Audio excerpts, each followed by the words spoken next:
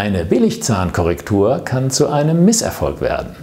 Wie es ins Auge gehen kann, wenn man bei einer kieferorthopädischen Behandlung am falschen Ende spart, zeige ich Ihnen jetzt in diesem Video. Dieser Patient war einmal vor circa anderthalb Jahren in meiner Praxis und hat sich hinsichtlich einer Zahnkorrektur von mir beraten lassen. Er entschied sich dann aber leider, sie andernorts, weil billiger, durchführen zu lassen. Nun kam er wieder zu mir, weil sich der Drahtretainer, den man ihm vor einem Monat nach Abschluss der Korrektur auf die Rückseite seiner Zähne geklebt hatte, an einem Zahn gelöst hatte. Der Patient hatte erkannt, dass es wohl nicht normal ist, wenn sich ein Retainer nach so kurzer Zeit löst und dass er vielleicht bei seinem Behandler nicht so gut aufgehoben war.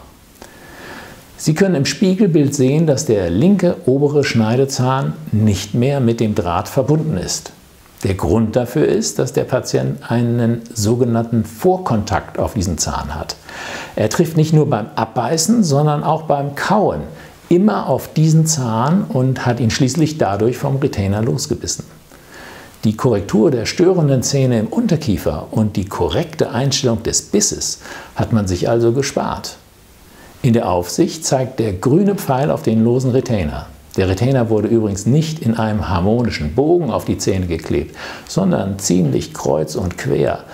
Auch hat man nicht für nötig gehalten, die Eckzähne mit einzubeziehen, wie es sich eigentlich gehört hätte. Sie können aber außerdem auf diesem Foto noch viel mehr, sozusagen die ganze Bescherung sehen. Der Zahnbogen wurde überhaupt nicht harmonisch ausgerichtet. Der große Schneidezahn links steht zu weit außen, der kleine zu weit innen. Schließlich wurden Lücken nicht geschlossen. Hier ist eine kleine rechts und eine weitere in der Mitte. Aber die ganz große Katastrophe ist hier bei den blauen Pfeilen. Die Lücke, die man hier gelassen hat, wurde einfach und wenig gefühlvoll mit Kunststoff zugeschmiert. Lieblos in unpassender Farbe und so gestaltet, dass eine vernünftige Reinigung mit Zahnseide gar nicht möglich ist. Schon jetzt ahnt man die Zahnfleischentzündung, die im Lauf der Zeit immer schlimmer werden wird. Hier nochmals von außen auf diesen Plastikriegel im Zwischenraum geschaut. Aus meiner Sicht hat der Patient am falschen Ende gespart und sein Geld rausgeschmissen. Er wird eine komplett neue kieferorthopädische Behandlung brauchen, um all diese Fehler zu korrigieren.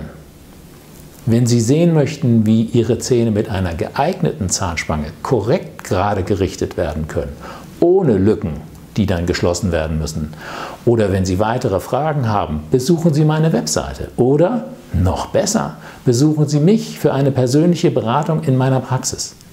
Vielen Dank für Ihre Aufmerksamkeit.